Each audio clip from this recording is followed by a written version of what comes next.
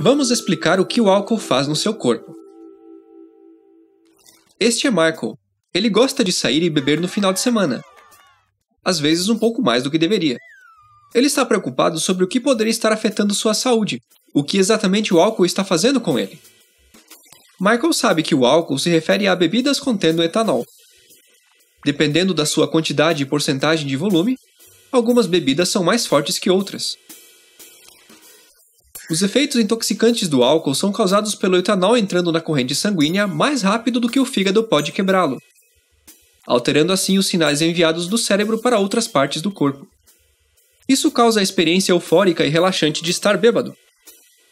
Mas também tem seus riscos.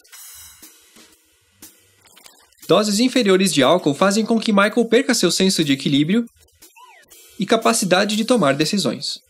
Ele pode até ficar doente, porque o álcool pode irritar o estômago e ter um efeito negativo no ouvido interno.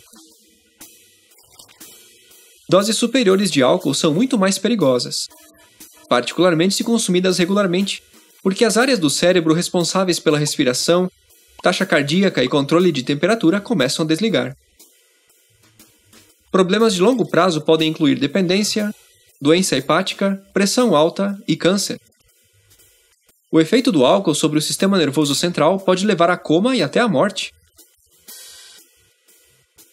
Para minimizar os danos à saúde e à sociedade, cada país tem suas próprias leis sobre álcool, incluindo a quantidade que Michael pode beber antes de dirigir um veículo na estrada.